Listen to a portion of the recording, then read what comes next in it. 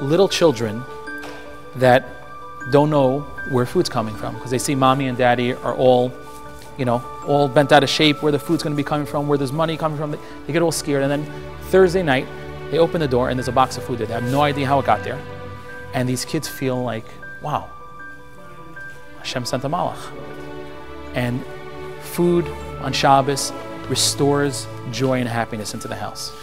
It's our responsibility to make sure that everybody in our community that needs help gets the help that they need.